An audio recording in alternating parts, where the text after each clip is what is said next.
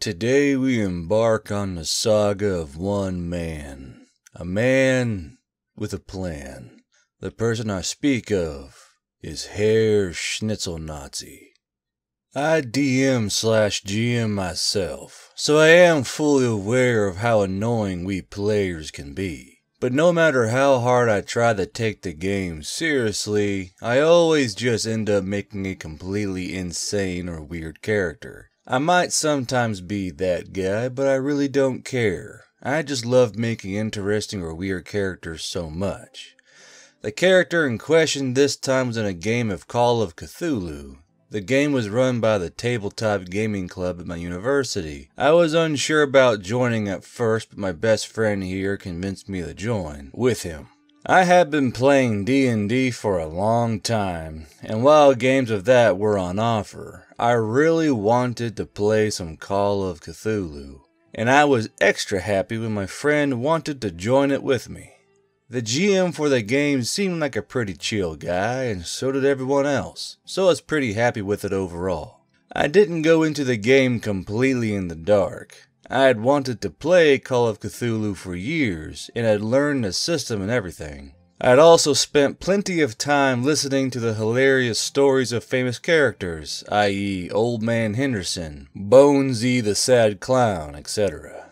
I decided to try and make my own character who would out crazy them all. His name was Herr Schnitzel Nazi, and as you could have guessed, he was a Nazi. But despite what you're thinking, the guy was born in America and was black. He went to college and became a doctor, and moved to Germany after medical school. Unfortunately for him, the Nazis got into power, and if you know your history, they weren't fond of black people. Because he couldn't really easily escape, he decided instead to change his name, relocate, and whiteface himself so that he appeared white. If you get the reference, then I respect you. He changed his name to the most German thing that he could think of, which was Schnitzel Nazi. By the time of the war's beginning, Herr Schnitzel Nazi had risen to the rank of Hitler's private doctor. I should also clarify that to further protect himself, he decided to embrace all of the ideologies of the Nazis. Because of this, I was also able to justify that he received military training and had one of those hilarious belt buckle guns that Hitler's private bodyguards had on. Only he modified it so that it fired after he did a pelvic thrust. After the war, Herr Schnitzel Nazi was captured by the Americans and tried desperately to convince them that he was both black and American. Unfortunately for him, due to the fact that he had been undercover for so long, his accent was so irreversibly German, and the makeup he was using had permanently stained his skin white. As a result, his rather stupid American bodyguards didn't believe him. He spent the next 10 years being experimented on, which made him completely insane as a result. He then very much began to believe in the ideologies of the Nazis and completely forgot that he was black. After 10 years, he escaped in a lab fire and went to an old Nazi safe house in Germany. There he acquired everything that he needed and what Hitler had given him to protect. This included an entire arsenal of weapons, including Lugers, Sturmgewehr 44s, MG 42s, an honest working Flammenwerfer, and boxes upon boxes of ammunition, stick grenades, and landmines. He also has millions of dollars of Nazi gold and even the original copy of the Mona Lisa. I joked that in this universe the Nazis had the real one and the one in Paris is a fake. He returned to America after smuggling all of his materials inside and using an apartment as a staging ground. Herr Schnitzel Nazi then used decades of time to prepare for the coming of the Fourth Reich. This included keeping the weapons in good condition, training, and keeping himself physically fit. He used his Nazi gold and his day job as a dog groomer to survive and collect more supplies. Just to make it all even funnier, he wears his Nazi SS uniform, which he never takes off for any reason.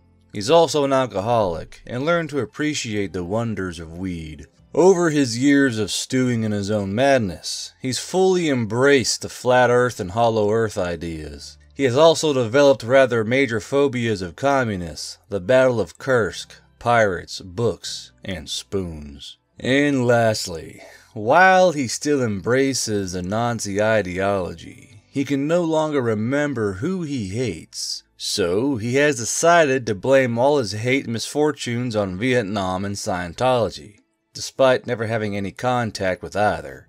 When I brought this character to the session, I honestly thought they were going to make me roll up a new one. But I was pleasantly surprised when the DM told me that he was actually excited to see me roleplay this crazy fucker. But then I got a look at everyone else's characters, and that's when I realized that this was going to be the weirdest campaign I've ever played. The first character was a nine year old girl who worshipped mattresses, lived in a mall Sears for most of her life, and was a master at throwing knives. She also role-played the girl like a fucking psychopath. The next character was a U.S. Senator named Dick Fister. My thoughts too. The character was role played like the most stereotypical American patriotic senator you could imagine. Think McCarthy on steroids. Despises anything that isn't capitalism. Death is a preferable alternative to communism. Calls his enemies commies and uses a massive 44 Magnum shaped to look like a bald eagle, which he named Freedom. After him was the president of the Tabletop Club, he role-played the only sane character in the group. He was an overzealous bodyguard who acted like Dick Pfister's security. The only weird thing about him was his name, B.J. Gobbledick. Next was the president's girlfriend, who was, honest to God, the funniest role player I've ever seen. Simp. She played the character Chuck the Lump. This guy was a redneck farmer with an axe and a double barreled shotgun. He was also indescribably stupid. I could not describe to you how well she role-played his stupidity. It was so good. Lastly was my friend's character, and it was probably the weirdest, second only to mine. Remember Joseph Kony, the African warlord? Yeah, the guy role-played Joseph Kony in all his glory. He role-played him perfectly, and the GM allowed him to have what was probably the funniest ability I've ever seen. It was Summon Child Soldier. This allowed him to summon 1d8 child soldiers under his command, each with an AK 47. They were really weak, but could deal a good amount of damage, and were perfect for covering escapes and working as cannon fodder. So, you guys want a highlight reel? Alright, sounds good to me. I have a few more stories, but I think that it's best to start at the very beginning. So let's do that. Our group was supposed to meet at some sort of commune in the vast forest of Montana.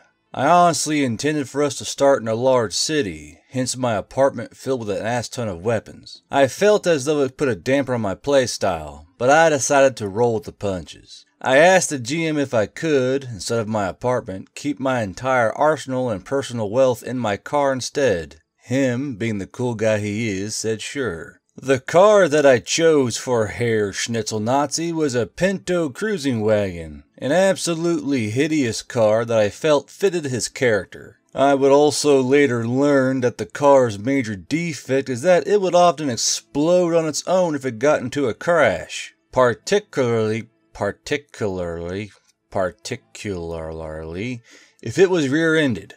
Anyways, while Kony was hitching a ride with the trucker to get to the commune, the nine year old girl Mackenzie was riding up in Chuck's rusty old pickup truck, and Senator Pfister and Gobbledick were arriving by helicopter. I, in full SS attire, drove right up, keeping a Sturmgewehr, Luger, and a single stick grenade, Stellgranat, and my trusty belt buckle gun on me. Welcome, friends. I'm Director Nathan said some guy dressed in a white jumpsuit who was waiting for us at the gates. I'm assuming we all arrived at the same time for dramatic timing. This guy starts telling us the history of this town, something about how an environmentally aware company helped them set up, and how this community was completely green and completely self-sufficient. My Nazi senses were immediately tingling and I didn't trust these guys. My character was insane in 92 at this point in his life, so I decided to start old manning the shit out of this. I started going on a classic old man rant, Only I'm also talking about how I thought they were communist hippie Viet Cong. I threw a lot of Pepperidge Farm references in there as well, and started talking about the good old days of Nazi Germany. In game, everyone is just staring at me, until eventually the senator cuts me off.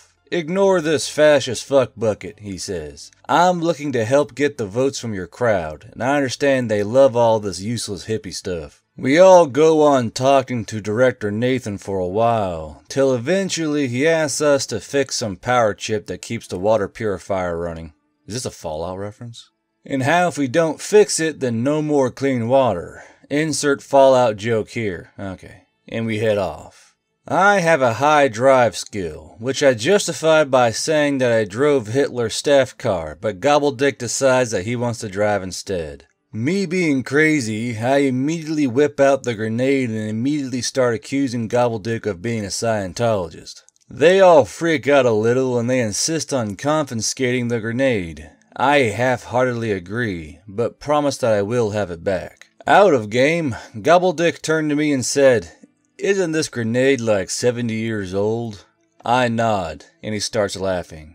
He told me that he's played with the GM before, and he's the kind of guy who might make the grenade go off on his belt if he were in the mood. So, without anyone else knowing, he hands the grenade back to me. So after wrecking two of the jeeps we were supposed to take to the water plant, the GM says that we see a windowless white van pull up to us. Kony immediately puts Mackenzie out of view, because we were all thinking exactly the same thing. The driver seems like a normal guy and introduces himself as Phil. We tell him we need to get to the water purifier, but he just laughs and says that he fixed it this morning. He then invites us to go with him to take care of some compost at a plant that will pack it as fertilizer. Seeing nothing else to do, we go with him. The job basically required the stronger people in the party, which basically left everyone but me and Mackenzie. Mackenzie, being the little girl she is, says she holds the door. I, on the other hand, start feeling my Nazi senses tingling again, so I decide to investigate. I head outside the plant, slipping away before anyone can notice me leaving. I start sneaking around the building when suddenly I hear something just beyond the corner. I roll for a stealth check but just barely don't make it. The GM says that I hear a low growl and something scraping along the wall just around the corner from me. I decide to go into battle mode. I pull the pin on my grenade and yell, Surprise, cockbag! From the other's point of view, they're just working away, when suddenly they hear a deafening explosion along the outside of the wall, which causes massive structural damage in the form of a huge dent and in turn knocks over some of the heavy machinery right on to poor Phil, who gets pinned under. Eh, I mean, steel grenades for a concussion grenade. No, I don't think so, Chief, but whatever. While the others rush out, guns drawn, I'm standing there holding the pieces of what looked like a hairless rodent of unusual size, the ROUS's, by what's left of its tail. When the others get to me, I hold them up at Luger point and say, I killed it. I get to eat it. After much arguing and debating and ignoring poor Phil, we head back to the plant and notice that everyone is gone. Phil from under his machinery and all of the other workers. Cars are all still there, but no people. All that's left was a mysterious green goo. Chuck decides that he wants to eat it, but fortunately Kony convinces him otherwise. After some debate, we decide to go on a manhunt for the others, because apparently the others haven't seen a horror movie in their entire life. While we search the rest of the building, Kony decided that now was the time to use his once per day child soldier ability. Okay. He ordered them to patrol the farm fields just outside the building and look for anything of note. Chuck, despite being a complete moron, is actually the only one of us with any experience around farming equipment and proves to be of some use. Particularly when we find a tractor in a barn not too far away. This guy says particularly a fucking a lot and I hate it. Ah. Just after we found it, we heard screaming in the fields and gunfire as well, meaning that the kids clearly found something they didn't like. Gobbledick wanted to go help them, or at least find out what's been doing this, but Senator Pfister, Kony, and I agree that, meh, they're just children. Strangely, so did Mackenzie. We all get back in the van that we took here, and Mackenzie hotwires it. The kid hotwires it? Fucking wicked. This time I drive, and we head back to the commune. We get about halfway there before meeting with some other guys in white jumpsuits. Only they're also wearing bulletproof vests and carrying assault rifles. So we stop the car and I roll down the window to speak to them. Well, hi there, sugar. What brings y'all out here in this time of night, baby? I say in my best southern belle voice. I have absolutely no idea why I did this. I think I just thought that it was something ridiculous and in character. If you're having a hard time imagining this, just imagine an ancient man wearing a Nazi SS uniform talking like that. After some more talking, the guards eventually agree to escort us back to the compound because we insist on speaking to a director after seeing what we saw. We get back, and this time find an entirely new guy waiting for us, and now the guards are calling him Director Scott. Where the fuck is the last man? Kony asked. I thought Mr. Nathan was the director. I'd like to stop and say that my friend, as Kony, had spent a year in Uganda helping out the people there. Because of that, he was doing a near flawless Ugandan accent and everything. what the fuck is the last one? Director Scott informs us that there never was a Director Nathan. The only Nathan in the commune is a sanitation worker. Senator Pfister starts going on about how sneaky poor people are after that. We're all left really confused at this point, because we mentioned Director Nathan to Phil back when he was alive and he seemed to be totally aware of Director Nathan. We would have questioned this further, but we liked Director Scott, so we didn't give a shit. By this point, it was around 10 at night. Director Scott tells us that we should be getting to sleep, and then gives us a cryptic warning about how we should, under no circumstances, go outside at night. A bit unnerved further, we decide to head over to where we'd be living, with each of us piling in mine and Chuck's cars to get there. Our living quarters was an honest to God log cabin, only by log cabin it was massive. Two stories and more than enough room for all of us to live there. I want to unpack all of my stuff into the cabin, but when I go to the door to try and open it to get into my car, I notice that a sort of electronic lock has been activated, preventing me from opening the thick door. I try my key, but it doesn't work either. We all wanted to give a shit, but none of us really could. I decide to sleep on the couch in the living room for the night while the others turn in. I don't really know why I did it. I think I just wanted someone to survive in case the rooms are wired with explosives or killer robots or Shoggoth or something. The GM tells me that we all wake up around 2 a.m. to a really loud and obnoxious sound that seems to be coming from the entry hallway. I, being the closest, get up and investigate. It's the electric door lock. It suddenly unlocked itself. Before I can really do anything, the GM tells Gobbledick. Gobbledick, god damn it. The GM tells Gobbledick, who's sleeping on the second floor right next to Senator Pfister, that he hears slow and steady walking along the roof of his house, right above his room, and it's slowly headed for his window, which also has had its electric lock disabled. Without hesitation, he gets out his gun and points it at the window. He sees the silhouette of a vaguely humanoid figure covered in spikes crawling down the wall, looking in through the window, reaching a clawed hand to open it. Three shots each hitting the fucker later, it falls a full story down as dead as can be. We all hear the gunshots at this point. I grab my trusty Sturmgewehr 44 and Kony is FN FAL. 762 real fucking NATO. Mackenzie grabs her throwing knives and Chuck his shotgun and axe. Meanwhile, Senator Pfister's busy pushing his furniture up against his window and door. the GM says that we can hear inhuman screaming from all around us. Dozens of separate voices. It's at this moment that I wish that I had been able to unpack my car. Everyone rushes into the living room. Chuck, Kony, and Gobbledick are all barricading entrances, while Mackenzie had somehow used her superb climbing skill to climb to the top of the chandelier hanging over the middle of the room. I, on the other hand, went to the bar and started downing a fifth of whiskey. If I was going to die, it wouldn't be sober. The living room of this cottage was quite large, and the back wall was almost entirely a single window which overlooked a lake, about 200 feet away from us. This will come up later. To make a long battle short, the fuckers came at us from every direction, and we kept on gunning them down. After each of us losing probably half of our hit points a person, and with over a dozen of the fuckers dead, we finally felt as though we had won. I immediately took this opportunity and ran to my car.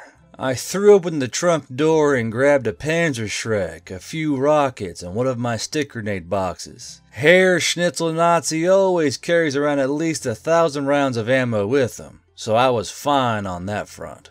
While I was doing this, shit was going down in the cabin. The others noticed a massive, monstrous being that started coming out of the lake. Something so strange that you had to roll a sanity check just to keep from going mad when you saw it. Most everyone passed the check, except for poor Chuck and Senator Pfister, who had rejoined the group. I just got back when this thing came out. Chuck and Senator Pfister immediately started walking towards it as if they were in a trance. Desperate to protect his senator, Gobbledick restrained him from walking to the beast in the lake. Unfortunately for Chuck, no one was strong enough to stop him from getting there. So I decided to do the next best thing suicide bomber mode. Gobbledick had knocked Senator Pfister unconscious, and while the rest of the party was doing everything they could to stall Chuck, I grabbed some twine, which the GM said I had hundreds of feet of in the kitchen. Why, I have no idea. I tied the twine to the ends of each grenade and started placing them everywhere on Chuck. When he had about 20 grenades tied to him, we let him walk to the beast at the edge of the lake. I I, I thought that um, Herr Schnitzel was going to be a suicide bomber. Nope, he uh, he volunteered Chuck, motherfucker. I kept the ends just loose enough so that I wouldn't pull the pins early, but just taut enough so that I could pull them with ease. Just when Chuck reached the creature and it got close enough to him, I pulled back the strings. I could not have wished for a bigger explosion. Chuck blew up right next to the thing and practically half the fucker was gone. The GM said that it wasn't dead yet though, and was just sort of pathetically trying to slink its way back into the water. Without hesitation, I loaded my Panzerschreck and blew the fucker to pieces. But not before saying, You're the ugliest fucking trout I've ever seen. For whatever it could do, it couldn't survive getting hit with an anti-tank weapon. That concluded our first session. Of the other big tales, which I will tell another time, there are the following the pig roast, the incident with the boats, the toilet hand, fire and blood, and the grand finale, killing the gods. This story took place probably about four gaming sessions deep into our campaign. By this point, we had discovered that the commune was run by an assiduous cult who had been luring people to it for the past 20 years in either to brainwash them to join its ranks or turn them into what they called the Brethren. We had plenty of experience with the Brethren, though. We killed almost two dozen of them at our cabin. Basically, the cult thought that at some point we had seen too much too early, so they decided brainwashing us was a lost cause. So they just decided to let the brethren eat us. At this point, though, it still left us wondering what that thing in the lake was. Emphasis on was, thanks to Herr Schnitzel Nazi. After the battle at our cabin, we sensed something was wrong with the commune immediately. Nazi senses were tingling once again, you could say. We were all worried, so we decided to play a hunch and have Mackenzie sneak into what was essentially the commune's prison, so that she could talk to the people that were held prisoner there. Now, you might be asking why'd we trust a nine year old with this mission, and it was simultaneously because she was the stealthiest, and we all didn't give a shit. Mackenzie found all of this information out from the prisoners, namely Phil who she found in one of the cells. Phil was already in the process of transforming into one of the brethren, but with what little sanity he had left, he told Mackenzie everything. He also begged her to kill him, which she did. Now, when I say that she did it, I mean she did it immediately.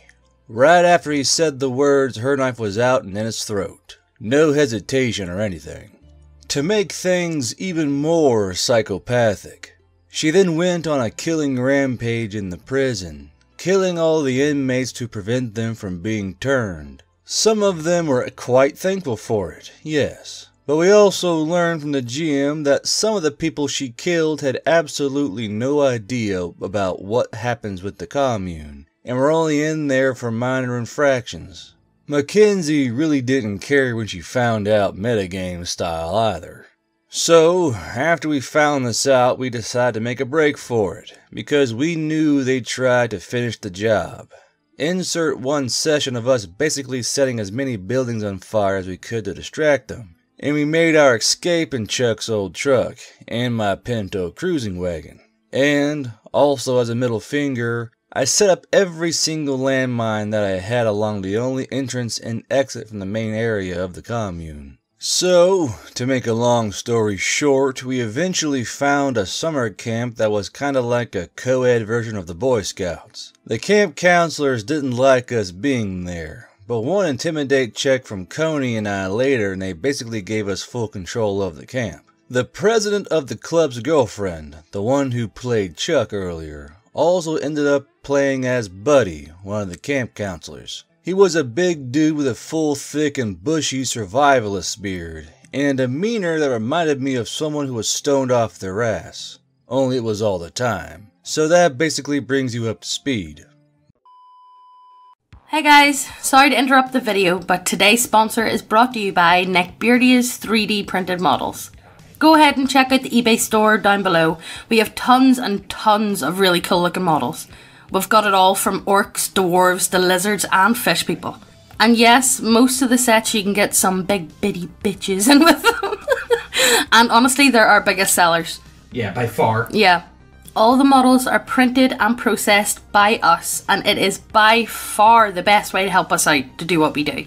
So go ahead and check them out below and just just look at this lizard lady with titties. She got big titties. look at the titties! By this point, we knew that we couldn't stay at this camp for long, partially because it was on the other side of the lake from the cultist commune, so we could literally see where we once were. The beginning of the session really consisted of us trying to come up with a plan of action for our characters, how we could uncover more information on how we could stop whatever the cult was planning, all while the eldritch horrors had been harassing us and the kids. Don't worry too much about the kids though. Kony made sure to start training them as fervently loyal child soldiers, so we were better protected. Who will think of the children? I will think of the children. Left, right, yo, right, yo, right. We got our first lead the second night we stayed at the camp. I should clarify that this wasn't like a campsite or anything where everything was set up when we got there. It was like a camp that had been built years ago and had clearly been running for years. This meant structures like cabins, a mess hall, medical center, ranges, places to earn various merit badges, and of course the bathrooms. I believe that it was Senator Pfister who decided to go to the bathroom, with Gobbledick waiting outside for him. I decided that my character also had to use the bathroom, so I went in there as well. Unfortunately, there were only toilets and no urinals. Herr Schnitzel Nazi refused to use toilets if he only had to pee, so instead, he went to piss in the sink. I think it was when I heard screaming coming from one of the toilets that we first realized that something weird was happening. Before I could even react, Gobbledick threw the door open and kicked in the door of Senator Dick Pfister's bathroom stall and tackling him mid shit. Nothing was happening to him, however, because the screaming was coming from one of the younger children who was in the stall next to Senator Pfister.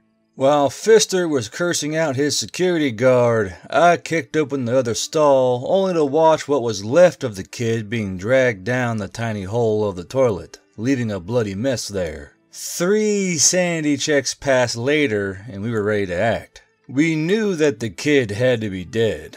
He was already small, even for his age. But to pull a kid through the hole meant that a couple of things needed to have been bent and broken.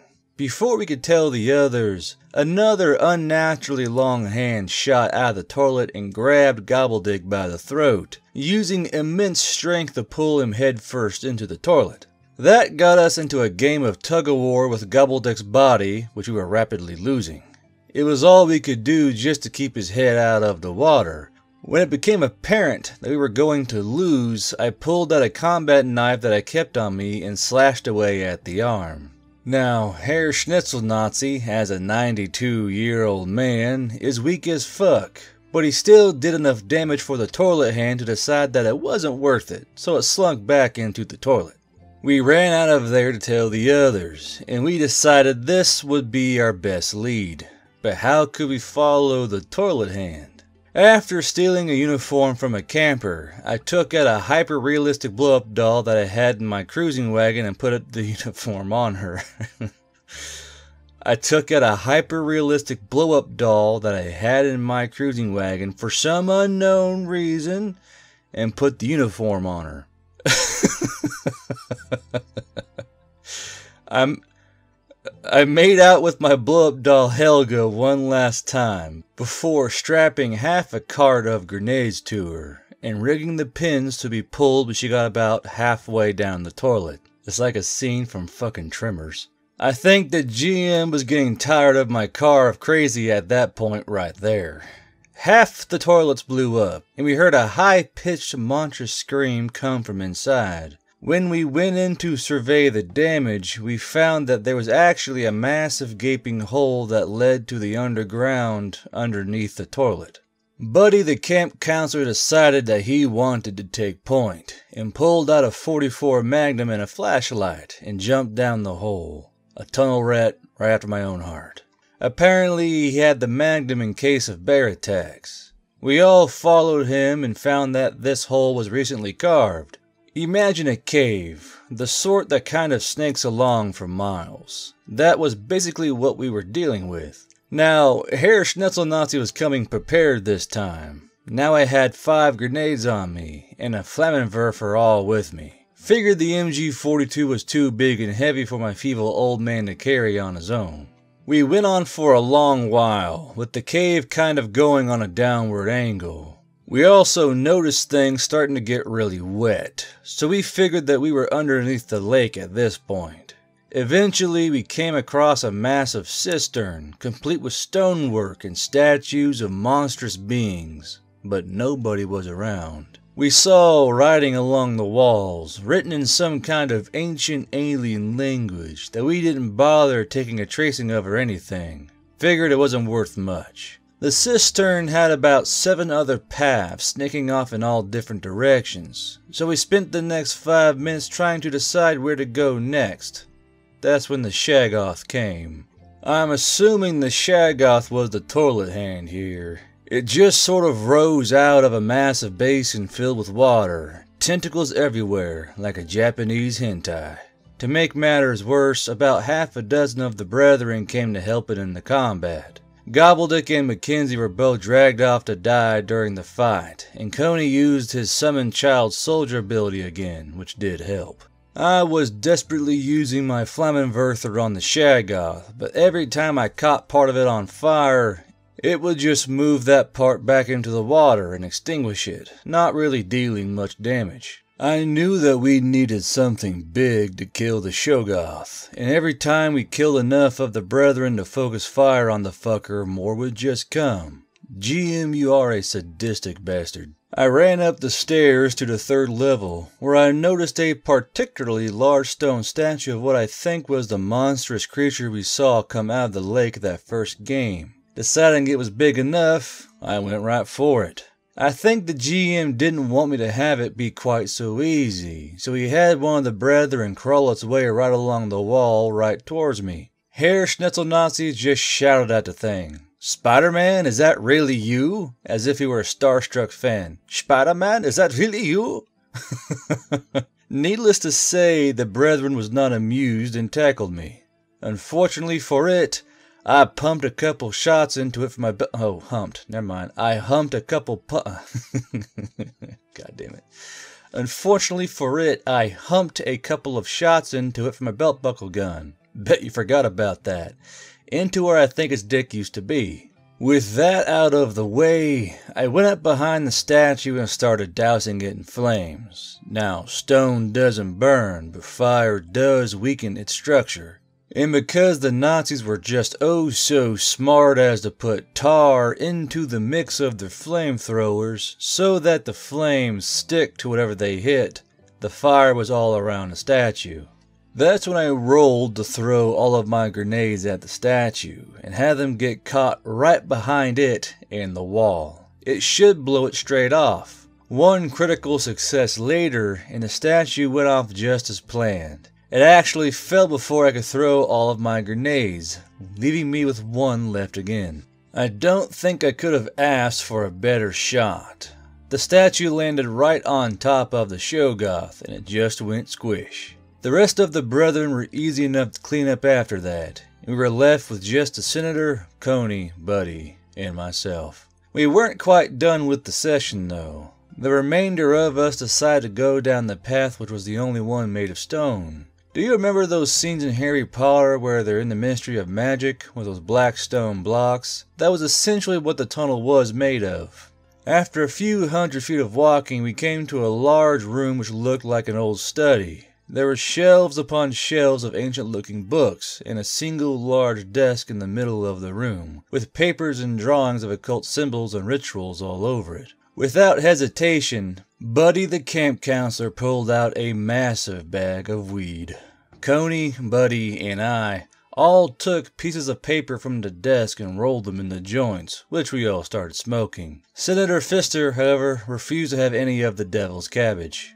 After getting stoned off of some good herb, we all began to stupidly look around at some of the books. As we were doing that, a group of some of the cultists from the commune came down to try and find out where all the noise down here was. Buddy, Kony, Senator Pfister, and Kony's one remaining child soldier heard them coming, and all readied themselves to fire down the hallway. Herr Schnitzel Nazi, on the other hand, was way too baked and decided that reading was better worth his time. What the fuck do all these words mean, you cocksuckers? I asked, before reading a mangled version of one of the summoning rituals. When I did this, I accidentally summoned an eldritch demon of sorts, which manifested before us, right out of the smoke from the weed. I almost forgot to mention, there was so much smoke from the pot that the entire hallway was basically covered in the stuff, drastically reducing visibility. It was damned convenient for us, because my demon just ran straight down the hallway, and all we heard at the other end were a few gunshots and screams. When it was all cleared, we found the remains of what I think were at one point five separate people. Difference was that they had been spread. In celebration of a job well done, Kony and Pfister decided to take some of the books with us, while Buddy and I lit up again. This also caused me to inadvertently set the study on fire. Damned convenient, once again. And thus concludes the Toilet Hand. Coming up next in the adventures of Herr Schnitzel Nazi is Fire and Blood. Will we succeed? Find out in the next exciting post. So this fantastic story of Fire and Blood was a session right after our last adventure, which saves us most of a recap. However, something did take place outside of the game. We play the game every Sunday. We have a group chat where we can coordinate, talk, and share the occasional meme with one another. In this group chat, probably around Thursday or something, I posted that I didn't think the GM was capable of killing off Herr Schnitzel Nazi. What are you gonna do? Stab me? Man, he was stabbed. I'm taking that as a challenge, was all he said in response. After that, I knew that I'd done fucked up. So I had to mentally prepare myself for the session because the GM's words and some sort of sixth sense told me that if I wasn't careful, Herr Schnitzel Nazi would die this session. My Nazi senses were tingling, if you would. The session began with us back in the summer camp. The girl who played Mackenzie decided to take one of the other campers as a character. This one was a girl named Susie who was unusually good with the rifle and was basically our assassin. The president, Gobbledick's old player, decided that he was going to be a hobo named Hobo Joe that we found in through the woods. Joe was a rather interesting character who was predominantly a melee character and armed with a fire axe, two combat knives, knives? Two combat knives and was quite good at making and throwing Molotov cocktails.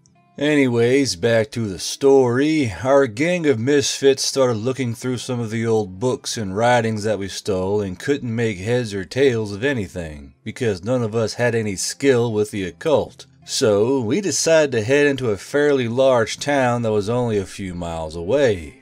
Before we drove there, Buddy discovered that one of the other camp counselors was in fact an imposter. After a brief session of interrogation, we discovered that the guy was a member of the cult and had been spying on us for a while. He laughed in our faces when he said that he already sent word to the cult and that they'd never stop hunting us. Kony then decided that he wanted to give the children a fun activity, so he ordered them all to get knives, forks, stakes, sharpened sticks, or anything like that, and had them gather in the main gathering section. We then tossed them the cultists, bound and gagged, and told the children to have fun. According to the GM, after a week of being told violence and murder is okay and receiving Kony's valuable training, the children swarmed the cultists like a band of angry sharks. Kony was so proud of the kids that the merciless slaughter brought a tear to his eye. We need that picture of Mushu going, my little baby off to destroy people. That'd be uh, very fitting this particular occasion, I think. So after scarring over a hundred children, scarring, I prefer the term hardening, but that's just me. So after hardening over a hundred children to the illustrious allure of bloodlust and battle, we decided to leave to go to the town where Hobo Joe knew of a professor of the occult lived. At this point, we still had my Pinto cruising wagon and Chuck's van. Remember that.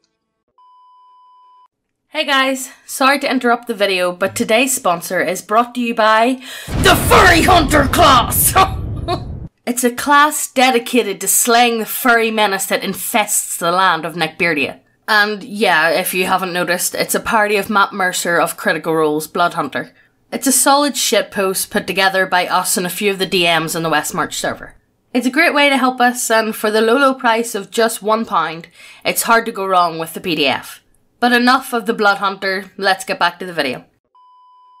We arrived in the town and immediately got to work trying to find the professor, who Hobo Joe had met in a Costco. As you could imagine, this wasn't easy, particularly when one of the people asking was dressed like an African warlord and another in full SS attire.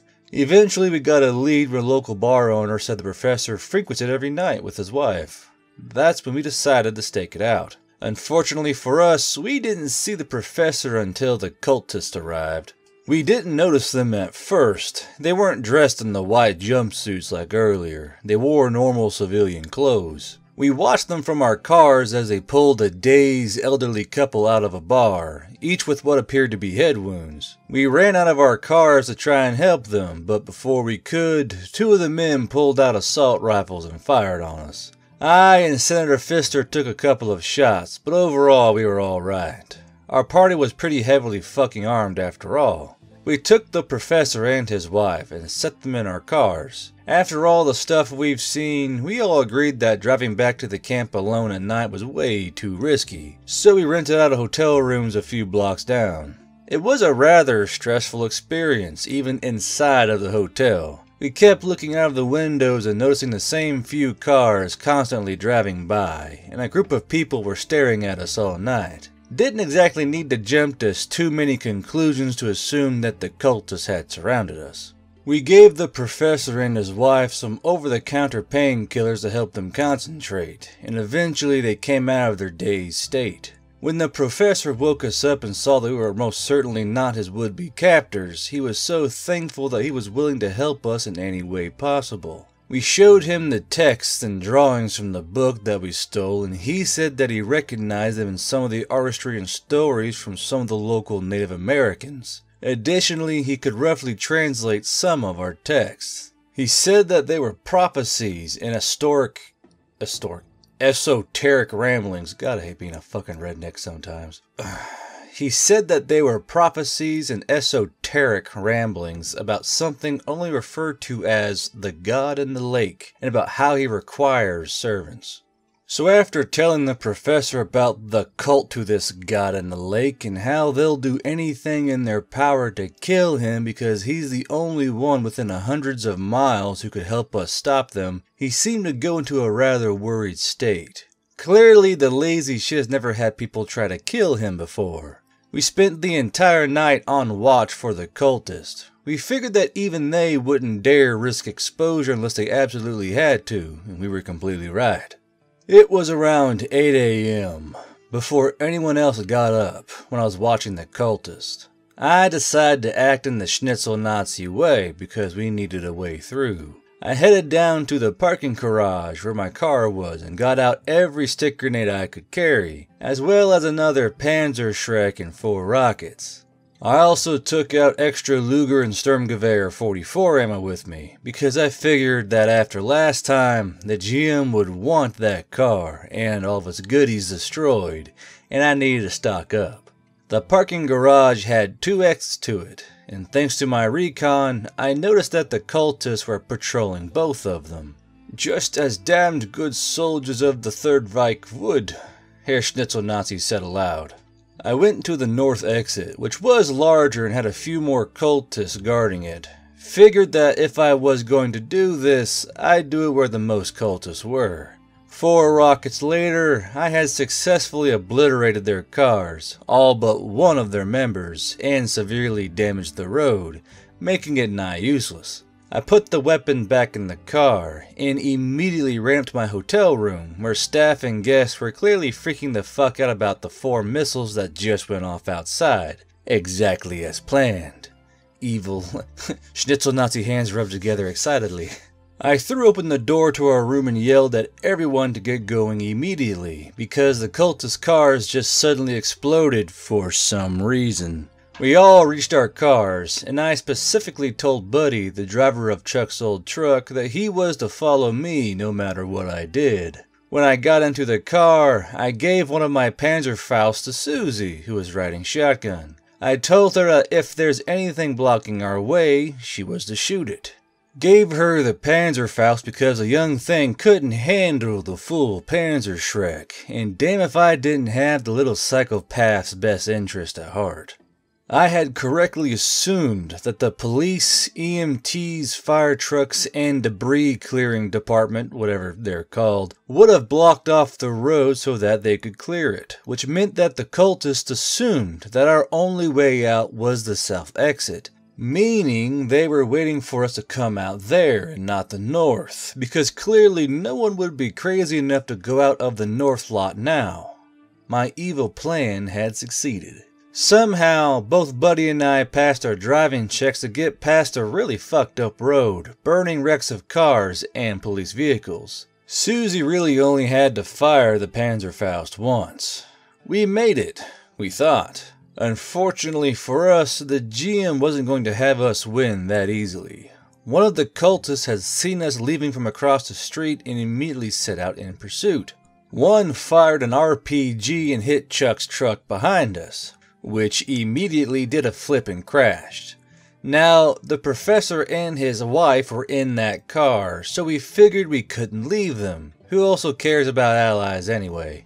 I stopped my Pinto cruising wagon and I, Kony, Hobo Joe, and Susie got out guns blazing and ready. We examined the other car and found that the professor, his wife, and Senator Pfister had all miraculously survived, albeit at really low HP. Unfortunately, Buddy had died on impact. I stealthily swiped the massive bag of weed he kept on himself because I'd be damned if I let those cultists enjoy it. The cultists all pulled up their cars around us and got out, guns drawn, ready to kill. One of their priests approached us and offered us mercy if we surrendered then and there because he admired our tenacity. Simultaneously seeing where that was going and having my Nazi senses tingling, I immediately. you could play a fucking drinking game with these stories, but how many times this guy types out immediately? I immediately pulled out the pins on two of my grenades and yelled back, Screw you, nerds! and throwing it at them with an excellent roll to boot.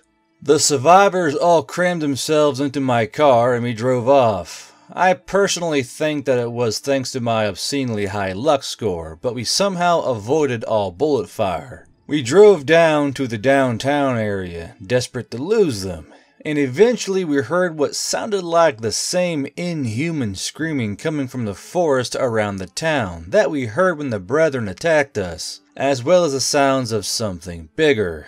We looked around us and found that brethren and cultists were all attacking the populace, driving off civilians and of course just killing them, leading to civil panic. We also noticed that an absolutely massive eldritch horror had come into the town and was in hot pursuit of us. Ignoring traffic and telling Kony and Susie to shoot everything they had at it, we were only just managing to stay away from it, but clearly wanted us to die way too much. I think it was at that moment when one of the cultist priests put a curse on my car, which caused me to immediately lose control and ram right into a bar. Immediately, I'm getting a shot bucket. Unfortunately, Susie died on impact because she wasn't wearing her booster seat, I guess. Apparently, you're supposed to make children wear seatbelts. Who'd have guessed? The professor's wife also hadn't taken the impact well and was currently in the process of dying. While I let Kony, Pfister, and Hobo Joe deal with all that, I immediately up, up. You said immediately again. Time to hold on.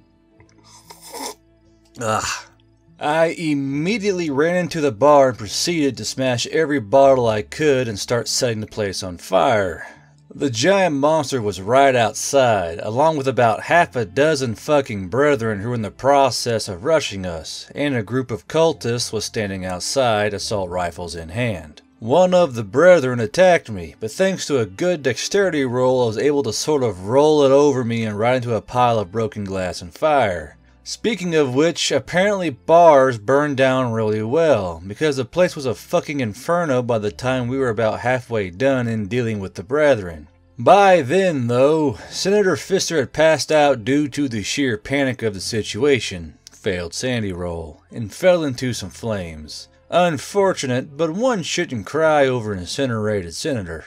What the fire did do was give the big bad monster a deterrent from reaching into the place to devour and or crush us to death. Damned convenient, I thought. So, because he couldn't do this, the GM decided to kill another bird, so to speak. The GM pretty much wanted my car dead from the very first time I fired a Panzerschreck. So he had the monster lean down and take a massive bite out of its back in order to begin the process of swallowing it whole. But the GM had forgotten something. I may have mentioned this earlier, but the reason why Pinto cruising wagons were so unpopular was not just because of the fact that they're absolutely hideous looking. I discovered rather recently that it was also because they had a tendency to explode rather violently if a large amount of force were directed towards the rear of the car, such as if it were rear-ended, or if some, oh I don't know, giant monster were to take an enormous bite out of it. And because my car was already filled to the brim with grenades, rockets, and other such things, the explosion would have been enough to level half of a city block if it were on the ground when it blew up, as opposed to right by what I assumed was the monster's face. The look on GM's face was priceless when he found this out, but he couldn't do anything about it, and due to the absolutely massive amount of damage dealt to the giant monster, it died immediately. Immediately. Time for a shot. Fuck. This event caused so much shock and awe in the cultists that it gave me the perfect opportunity to instead take charge of things going on here. Kony and I shot dead three or four of the cultists across the street. Hobo Joe restrained them. Those fuckers took my Pinto cruising wagon, the thing filled with what the Führer himself had directly asked Herr Schnitzelnazi to keep safe. Just to clarify that I am once again role-playing here. The GM didn't even make me roll for an intimidate check, which was good because my score was abysmal there. Apparently I am so full of rage that the cultists couldn't help but tell me what I want to know. I demanded to know where that fucking priest was who made me lose control of my goddamned car was. The others in the party immediately up up for another shot. No.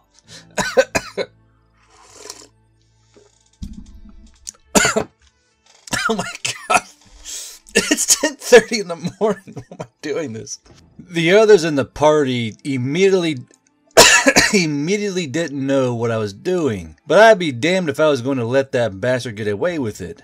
Escape didn't matter to me anymore. This was personal. The cultist didn't know, but he did have the phone number of the priest. After thanking him and ordering Hobo Joe to murder him in whatever way seemed fit to a deranged hobo, I took the phone and impersonated the cultist. I bluffed that the enemies, us, were trying to hunt him down so that he couldn't put any more curses on their cars as they tried to escape. He then told me that he was hiding out at a certain gas station within the city, and he ordered us to retreat to defend him and gave us his location. 4D Nazi chess intensifies. I told Kony and the others that this was our only hope of killing the cultist priest, and with him dead we might be able to put a huge damper on whatever the fuckers were planning. I told them that they should attack the guy from the front while I went in from the rear. They went along with it and I stole some guy's bike from a bike rack and went off.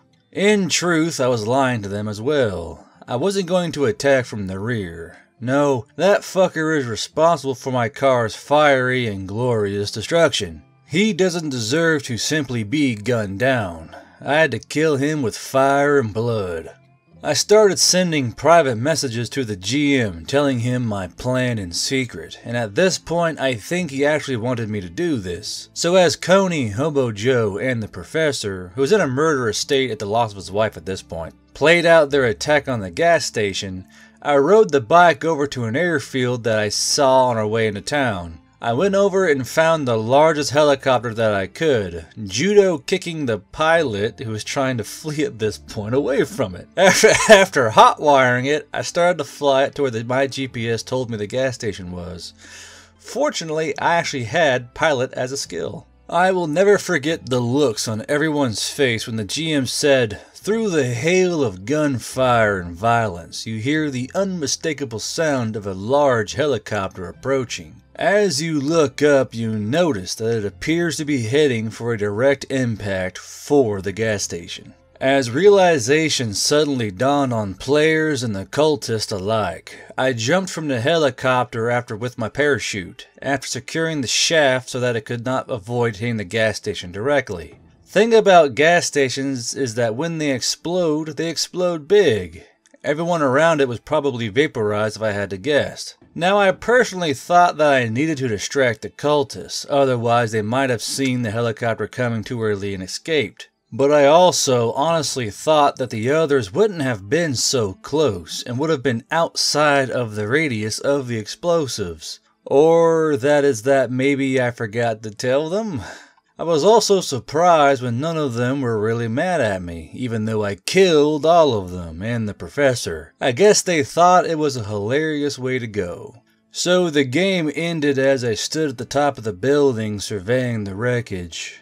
Though fire and blood was wrought, I was the lone survivor of the party. Was it worth it? Fuck yeah, it was. We last left off the game with me being the only surviving party member, and no one within the state we were in who could translate the text that we needed. We were two children, a camp counselor, a senator, his bodyguard, a mentally challenged redneck, a hobo, and an African warlord down. And I needed to fill my ranks once again so I could continue my crusade. You see, with the destruction of his car, the cultists made this battle personal, and he wasn't going to stop until every single one of them Scientologist commie motherfuckers was dead. My first step was to roam the ruins of the town and look for suitable survivors who would be willing to assist me in my crusade. Wasn't too easy, as most of the town's populace was either killed, ran away, or rendered irreversibly insane in the battle between us and the cult slash monsters. The GM had all the other players start rolling up characters who would act as survivors in the town. The president of the tabletop club, aka Gobbledick and Hobo Joe's player, made a character named Sergeant Jackson, a Marine whose tour of duty recently ended and lost his wife in the recent battle. The president's girlfriend, aka Chuck and Buddy, the camp counselor's player, who for some reason would only play as male characters, but hey, I don't judge, made the character Josephi, the mustached Eastern European man whose smoothie store was destroyed in the battle. She described him as a short and broad shouldered man with a mustache that would make Mario and Joseph Stalin blush. The girl who played both of the child characters decided to mix things up here, and this time play as a teenage girl. This was Tiffany Goldstein, a 16 year old girl whose boyfriend and entire family were killed at the gas station. She fortunately didn't know that it was Herr Schnitzelnazi who flew the plane.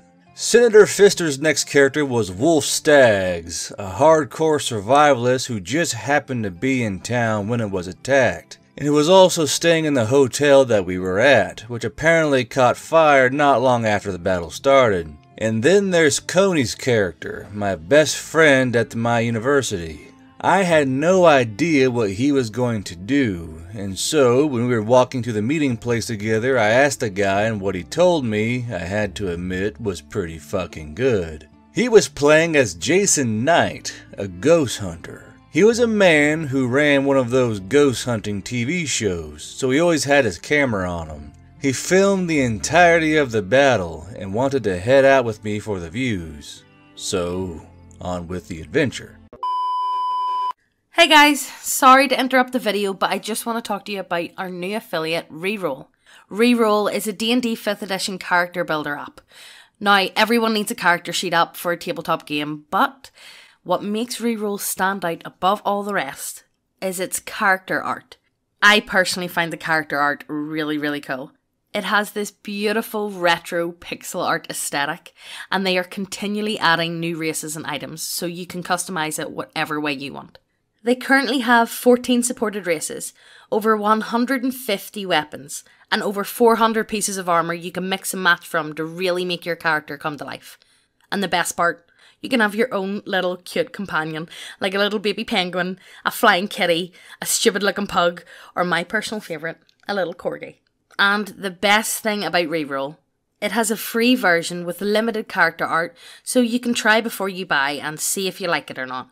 We personally think it's an amazing app that will just improve your overall enjoyment of tabletop role playing games. Reroll is on Apple, Android, desktop, and if you use our coupon code NECKBEARDIA at checkout, you get 10% off. It's a great affiliate that we think you guys will love, but enough of that. Let's get back to the video.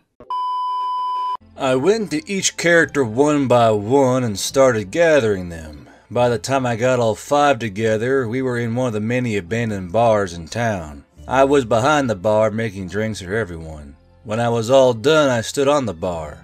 Dirty Schwein have taken things all from us. Back in the 1930s and 40s, we had similar problem. Trouble is, I can't remember who was responsible.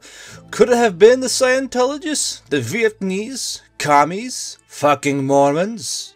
I don't know. But whoever has done this to us is going to pay, aren't they? The others were all quite enthusiastic about murdering the cultist. Excellent, meine Freunde. I know what we're up against, and I have some of the means and the will, but I need you. You will be my soldiers, and I your glorious Fuhrer. Together we shall sweep across this cult, crushing all in our path. We shall create a world free from this cult of commies for a thousand years. After my inspiring speech, we hotwired three undamaged cars and took them back to our camp.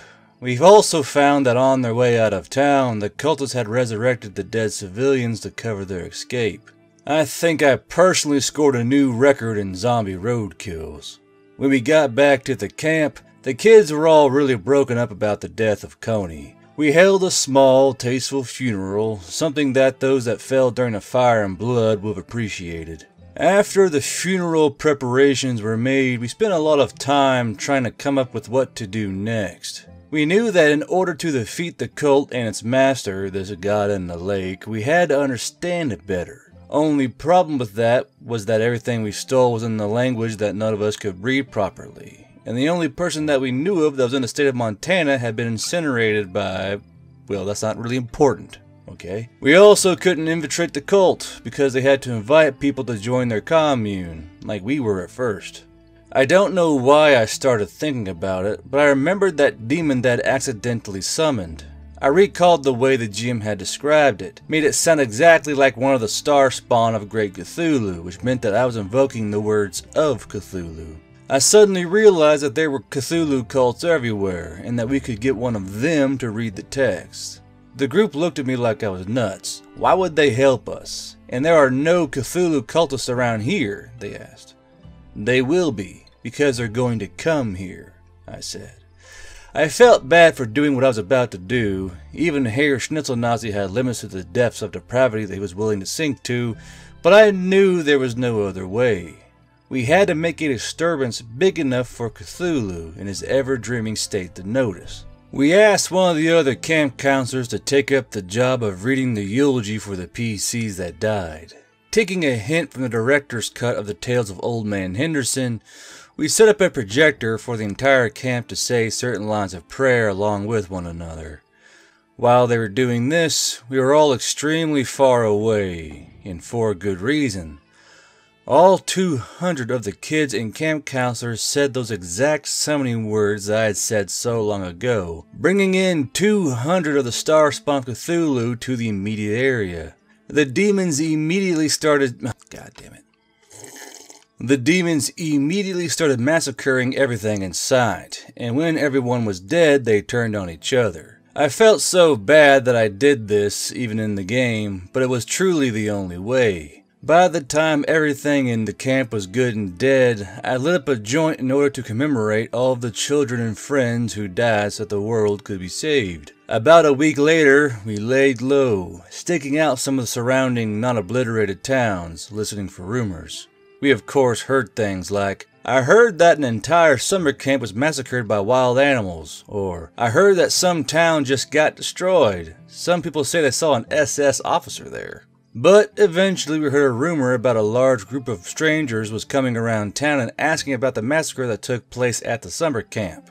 The plan had worked. Then began phase two of my master genius plan. We had also been preparing the area by making various bombs, smoke grenades, pyrotechnics, and setting up extremely expensive surround sound systems around the gathering area at the camp. When the Cthulhu cultists came to check out the area, we were waiting for them. When the cultists arrived, we set off the smoke bombs and then started playing Gangnam Style. Our campaign was set in the very specific year of 2012 and was the most annoyingly catchy song that we could think of. Then, with all the cultists all confused, we proceeded to set off explosives and fire traps right there. Additionally, because of the layout of the area, they couldn't really escape out of the bowl of death. According to the GM, right then and there, more than half of the cultists were dead, and the survivors had absolutely no idea what was going on and were highly disorientated. It was at that moment that the Spits were inserted.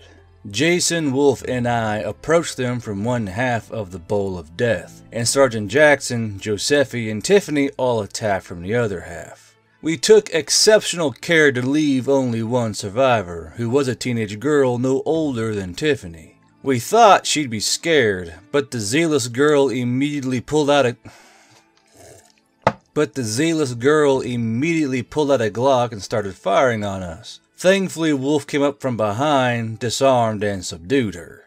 Then the interrogation began. I looked the girl dead in the eyes and rolled a critical success on Intimidate. Being so scared that she actually pissed herself, the girl agreed to assist us. She read through all of our papers that we could procure and told us everything that we needed to know. According to her, the god in the lake was not actually physically in the lake. Well, he was, sort of. It was sort of like his spirit was.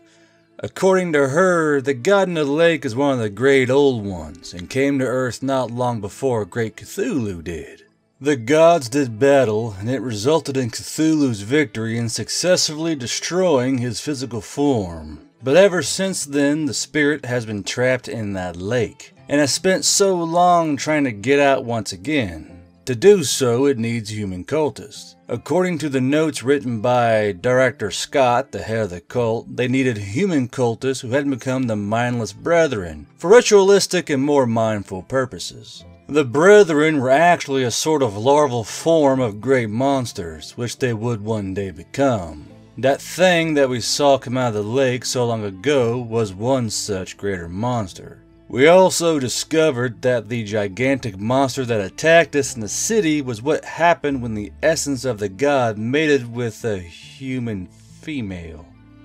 We thanked the Cthulhu cultist, but decided to keep her with us until our job was complete. We decided we liked her and wanted a few more adventures with her. And thus ends the pig roast. I will come out with the incident with the boats probably around tomorrow or the next day. Take care, my lovely fans, and enjoy. We're getting to the end game, baby. Herr Schnitzel Nazi will return. We last left off our story when our heroes captured a teenage girl Cthulhu cultist and learned more about this mysterious god in the lake. And it was one of the few notable events where one of us didn't die. Unfortunately, some 200 children, counselors, and workers at the camp did die, though. But to Herr Schnitzel Nazi, their deaths were necessary sacrifices to continue his crusade. At this point, we would spend most of our time trying to devise ways to kill a god's spirit. Unfortunately, we had a lot of difficulty thinking of any. I believe that it was Jason Knight, the ghost hunter, who came up with the idea. It was essentially God in the lake, God no leave lake. God need lake to live. We make lake no more. We make God no more. That presented us with another problem though. How can you kill a fucking lake? Even with all of the firepower Herr Schnitzel Nazi once had, it wasn't enough to actually destroy a lake, let alone a god that lives within it. At this point, the commune cult had become rather desperate to stop us and had also been expanding their numbers drastically, recruiting from all over the country in an effort to accelerate the resurrection of their god. This presented more problems than the obvious, as cultist attacks have become a fairly normal thing, as well as attacks by what we called Big Brothers. Those are the things that came out of the lake in the first session. Seeing how brethren turn into them eventually, and due to their massive size, we figured that the name was appropriate. Things weren't getting easy at this point, but our activity had another unexpected effect on the state around us. Seeing how we completely obliterated a fairly large town at one point, and how we've continued to wage battles in other populated areas in other sessions, and also how an entire summer camp was completely massacred by unknown creatures, Montana had gone into a sort of state of emergency. That's even one way that the cult was gaining members. They proclaimed to be a safe haven for people to seek refuge at. We tried to curb the reputation with rumors that they're responsible for destroyed towns, monsters, and magic, but they were just way better at it than we were. We had done a better job at securing a base around the old camp though, had plenty of food, water, electricity, and had set up monitoring stations and listened and watched TV constantly to pick up on the news. Sergeant Jackson would constantly listen in to military frequencies to learn about their movements. Wolf Staggs would scatter around the area, trying to learn of the cult's doings and watch their progress. Josephi made us some pretty fucking good smoothies. Tiffany would also spend an obscene amount of time on Tinder trying to get rebound sex to make up for the pain of her murdered boyfriend and parents. still completely unaware that I was partially responsible. And Jason Knight used his TV show to try and promote conspiracy theories about the commune. We were despairing at this point. We couldn't figure out what to do, and at this point we almost thought that the cult could win. But then, Sergeant Jackson heard over one of the military frequencies that all of the freaky stuff that's been going on in the state, the military is planning on relocating some of the nuclear weapons to more safe locations. That's when we got the idea on how we were going to obliterate the lake. When I told the others about this, they were for some reason apprehensive about the idea of setting off a thermonuclear device. They also pointed out that if we do steal it, then the entire might of the United States military was going to be on our asses in seconds. We'd probably end up getting our own satellite. I convinced them by saying that it was our only chance for revenge, because at this point, our only option were to run away and do nothing while the god in the lake rises to kill us all, or sit on our asses here and have them kill us before the god in the lake rises. Not long after, the others were in business, and we had our plan already. The nuclear weapon was being transported down a fairly major river in order to make it to a railway, and was under exceptionally heavy guard. We could never catch up to it near a railroad, so we figured our only chance was to get it at the river. We also didn't need the entire missile. We only needed the warhead, which would be rather difficult to get, but it would be much easier than moving an entire missile. Pooling our funds together, we managed to buy an extremely high quality speedboat, which we rowed out into the scheduled river three days before the move was scheduled to happen. We stayed on the boat and hid it in the brush near the riverbank, just deep enough for us to start up quickly. When the boat arrived, we finally understood the definition of what the US military meant when it said under heavy guard.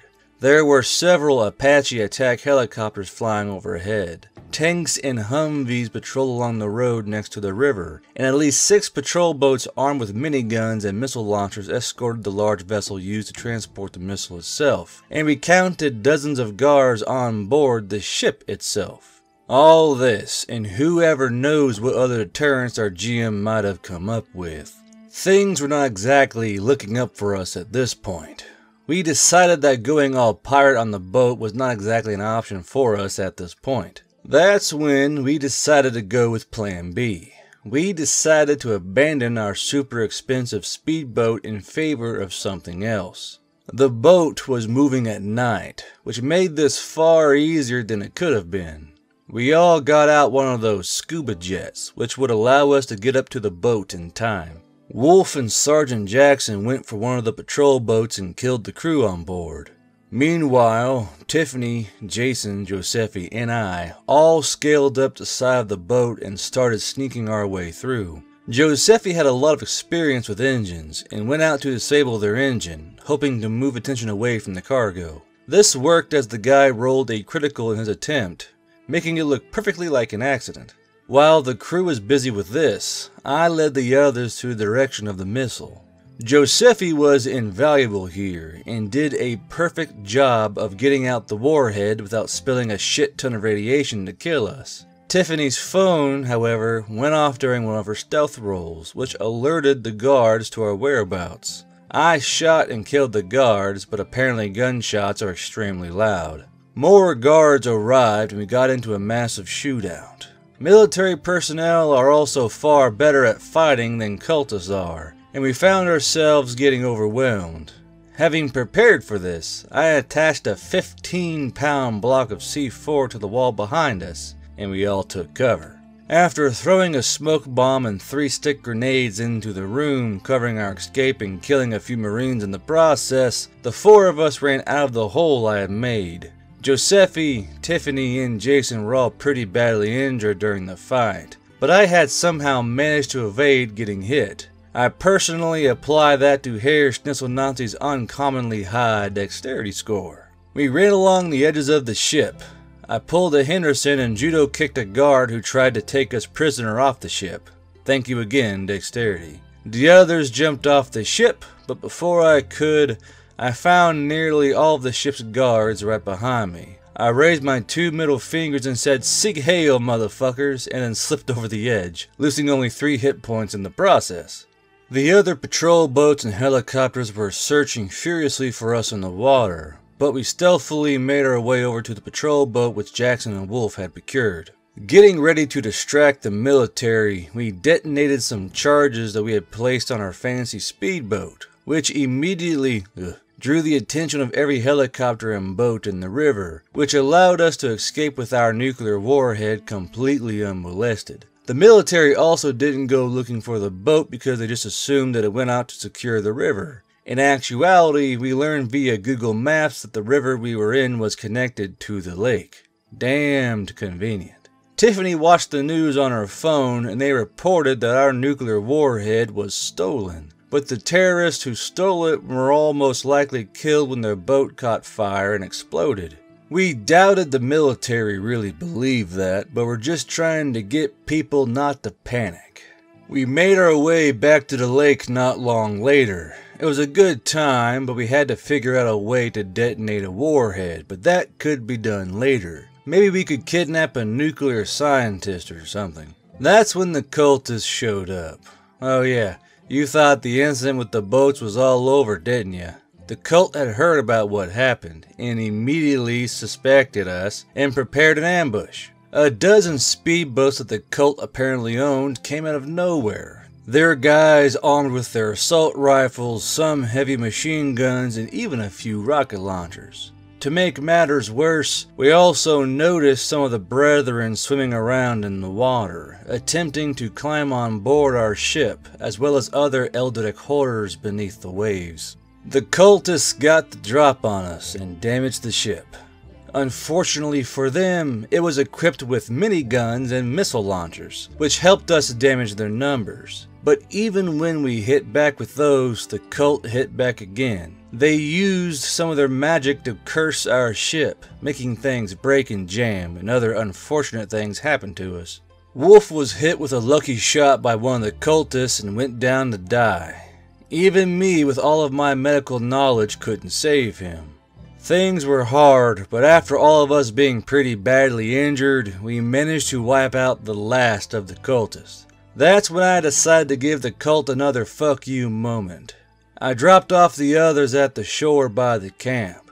That's when I wired every missile and round on board the boat to go up. Then I started the boat up and jammed it into maximum acceleration on direct course for the commune. Herr Schnitzel Nazi jumped off the boat not long after starting it and swam to shore. We then watched as the boat, moving at surprisingly fast speed, ram ashore by the commune and immediately blew up, giving us an explosion that we could see clearly all the way across the massive lake. Adventures of Herr Schnitzel Nazi, killing the gods. So here were everyone, the end game. Hey guys, sorry to interrupt the video, but today's sponsor is brought to you by Neckbeardia's 3D printed models. Go ahead and check out the eBay store down below. We have tons and tons of really cool looking models. We've got it all from orcs, dwarves, to lizards, and fish people. And yes, most of the sets you can get some big bitty bitches in with them.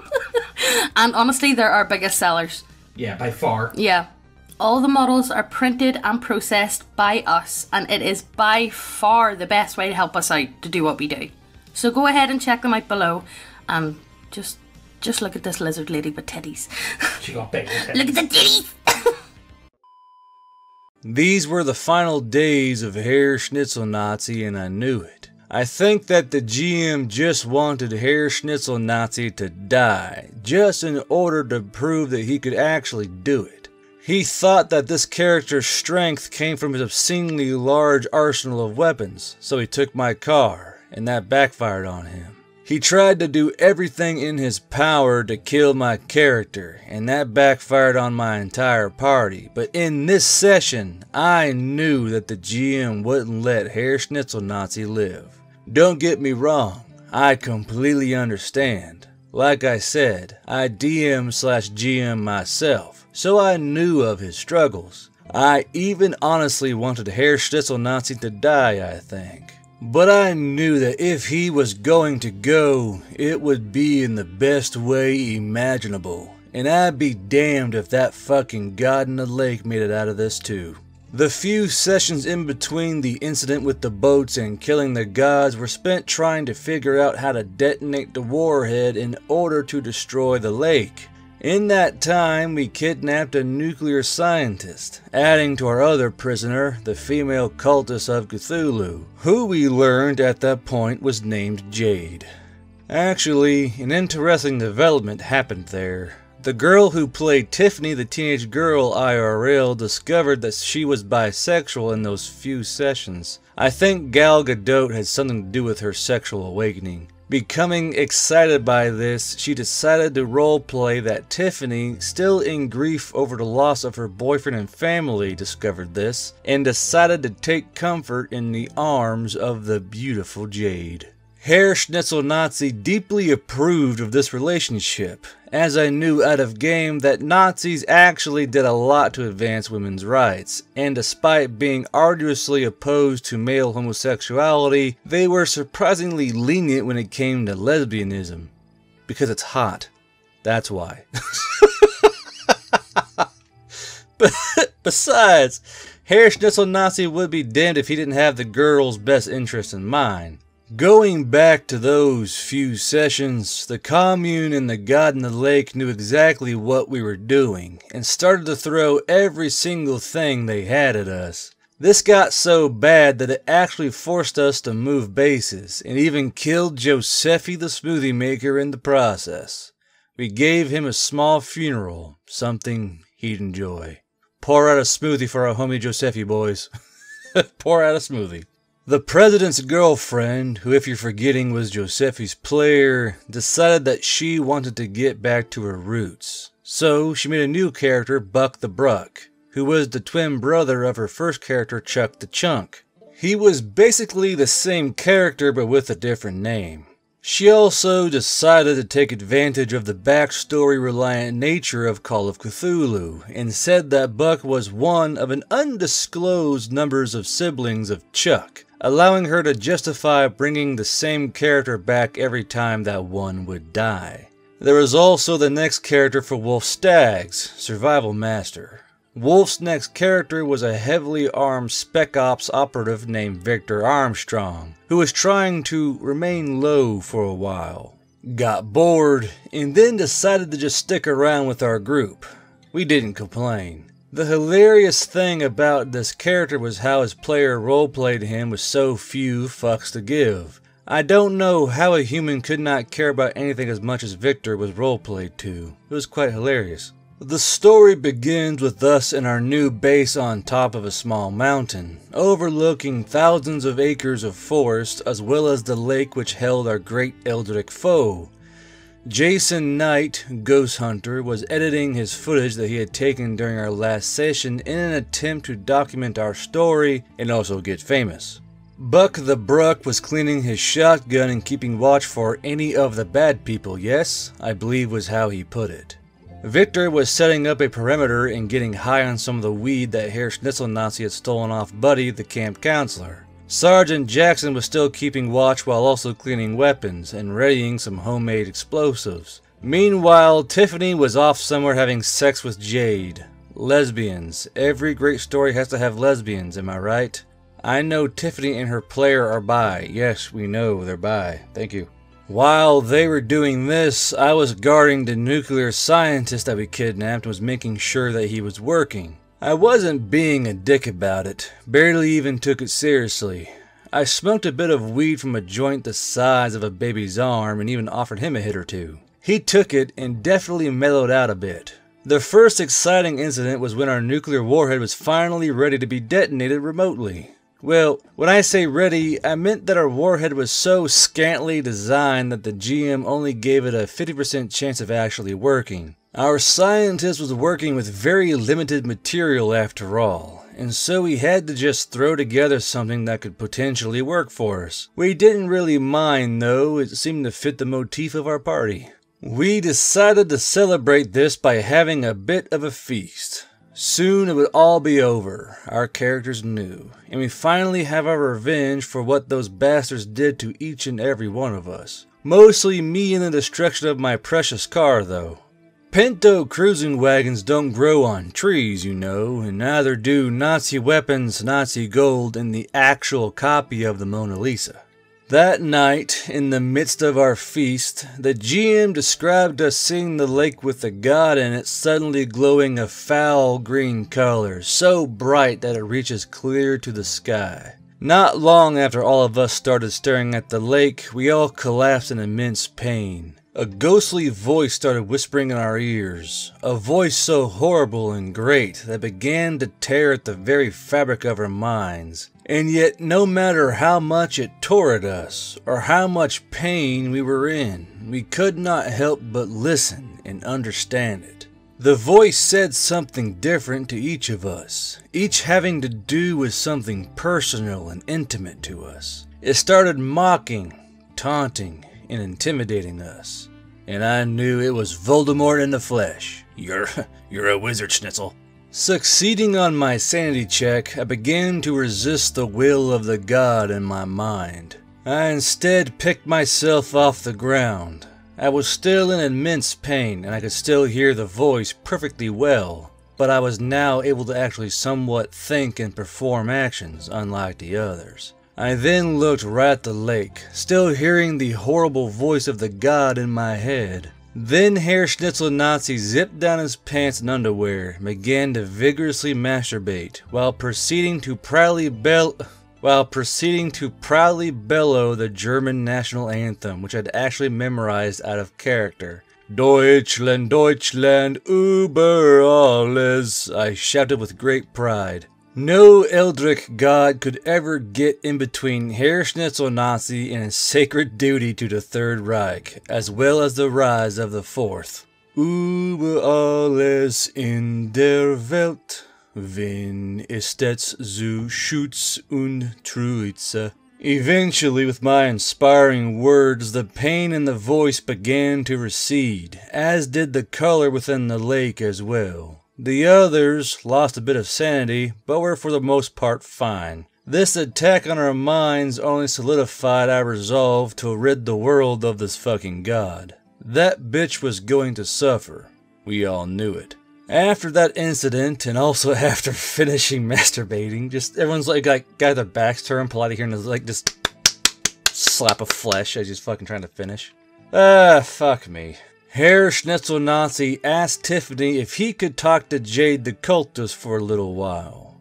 We went off together and I asked her what she knew of the essence of the gods, like the one that was in the lake. It was pretty easy to convince her to tell me, as she at this point thought that I was only going after that god who was an enemy of Cthulhu. Jade was a relatively high ranking sister of the cult, but after she told me that as far as what the sacred text said, the power and essence of the gods is an unknowable force. Deciding that it wasn't worth looking further into with her, I asked the GM if I could make an occult roll. I had a skill of about 60% with that, and I was hoping to see if I could know anything else about our Eldritch foes. Through sheer luck, I managed to roll a critical success on this, and the GM told me that I basically knew everything about the Eldritch gods. He also sent me all the information that he had on the outer gods and great old ones within the H.P. Lovecraft mythos. While everyone else was planning how we were going to set our operation into motion, I was reading thoroughly through the information the GM sent me. I had the inklings of an idea, but I wanted to know if it could possibly work. Early the next morning began rather thrilling. That's, that's even a fucking. What's this? This is a nothing sentence. What is this? Jesus.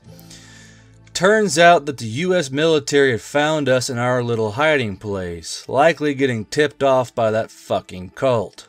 Black Hawk and Apache attack helicopters swarmed around us, and Spec Ops troops repelled out of their helicopters.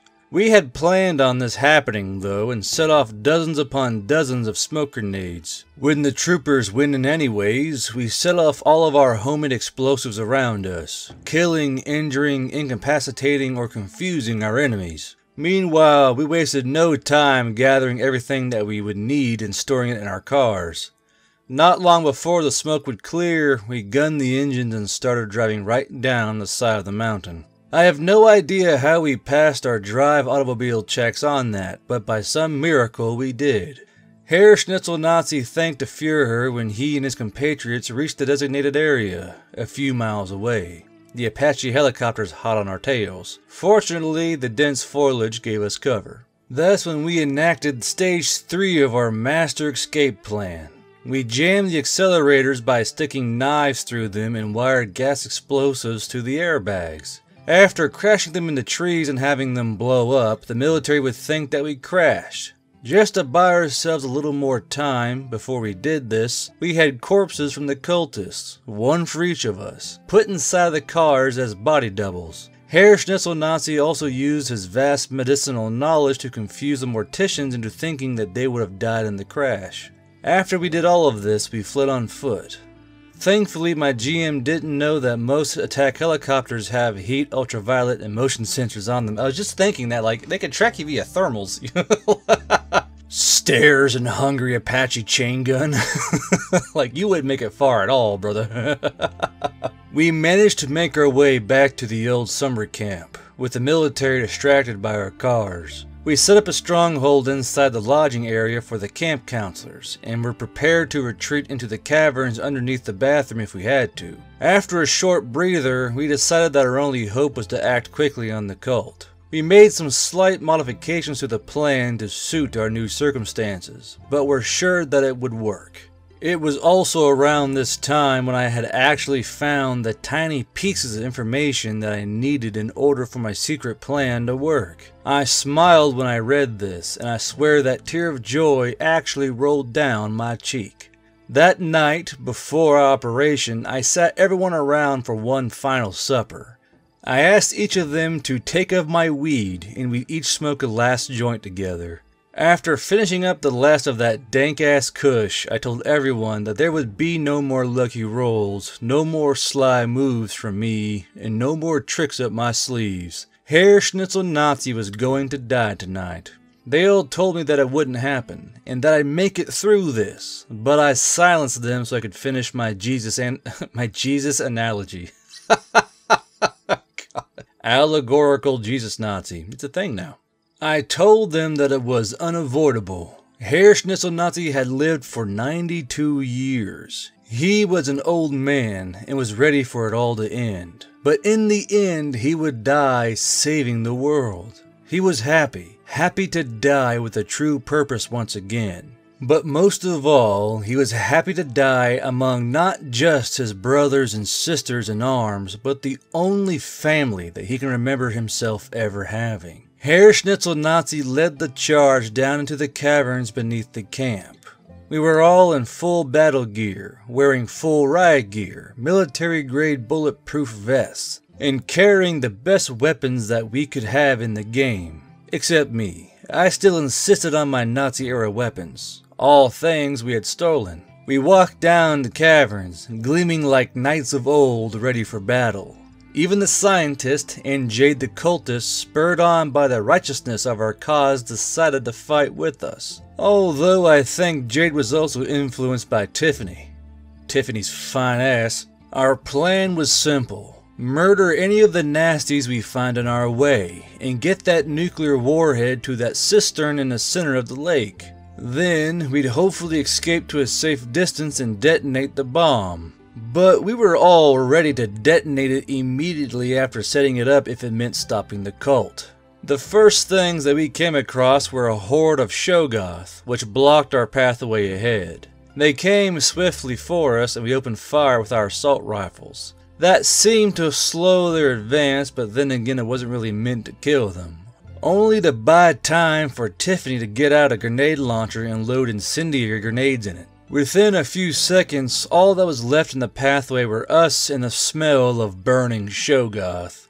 We continued our advance, killing wave after wave of cultists, zombies, brethren, and other Eldritch horrors which crossed our path. We could keep slaughtering them, but slowly the battles were taking a toll on our sanity and health. Eventually, we managed to reach the cistern in the middle of the lake, most of us with only half our health and sanity left. The cistern was oddly quiet. There seemed to be nothing around us. It was clearly an ambush, but we couldn't waste time on sitting on our asses. Our group made its way to the center of the room, right by where the Shoggoth was in our little tentacle porn incident, if you recall. The nuclear scientist got to work arming the bomb and detonator immediately. Ugh. When he got started on this, coming out of each of the entrances surrounding the cistern came a big brother.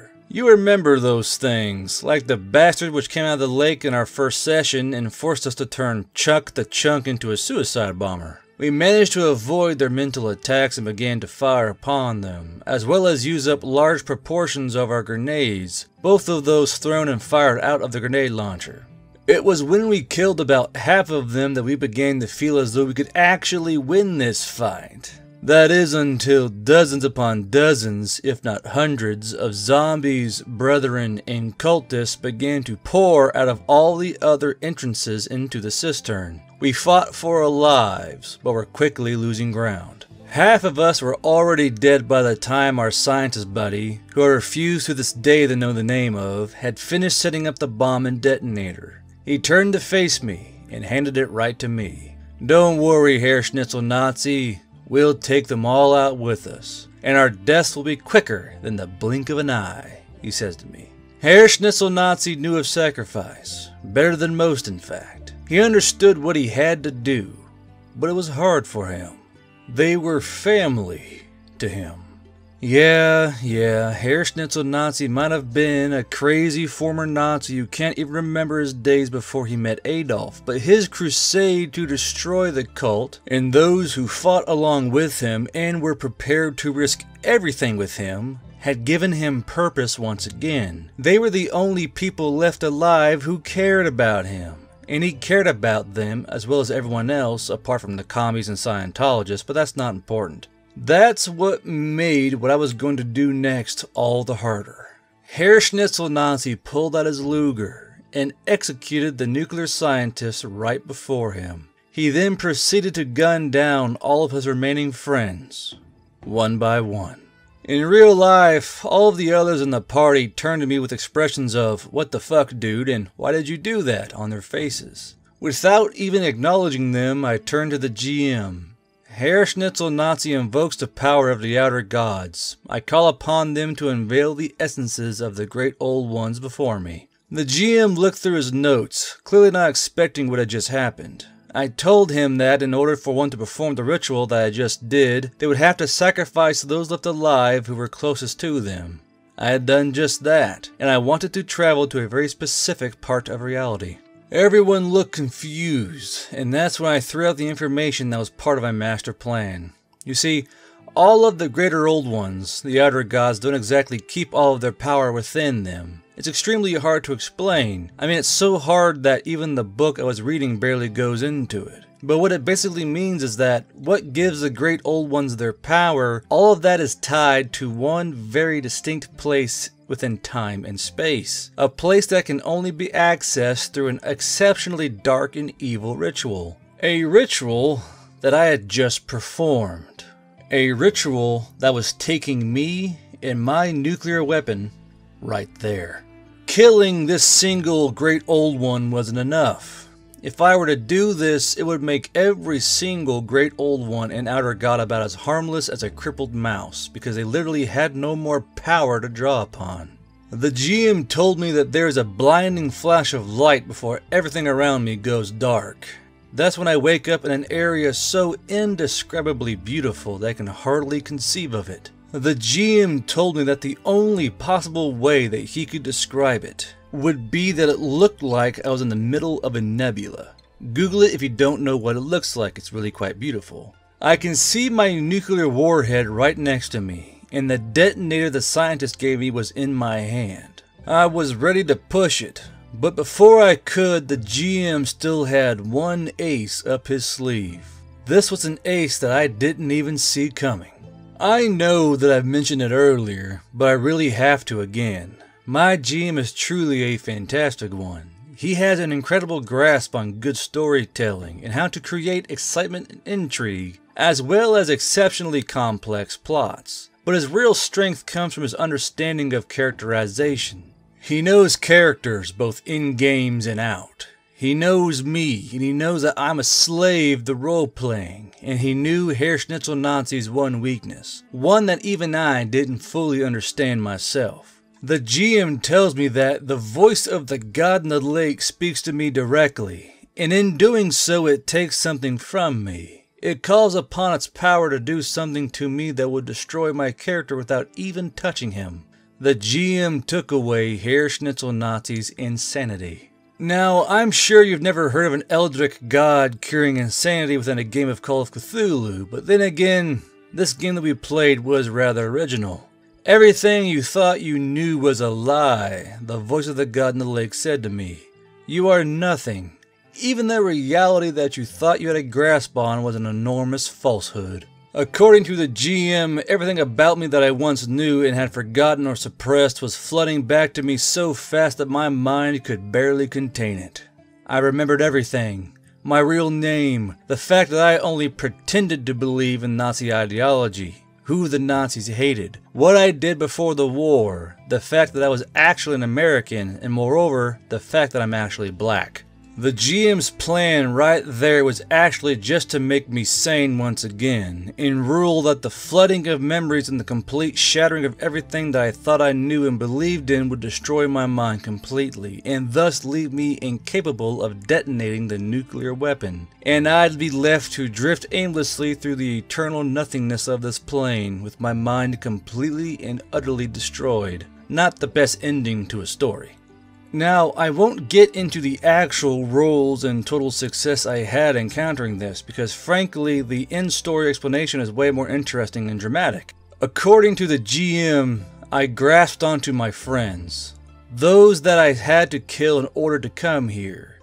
If I failed them, then they'd have died for nothing. Herr Schnitzel Nazi was able to grasp on something he knew that was real.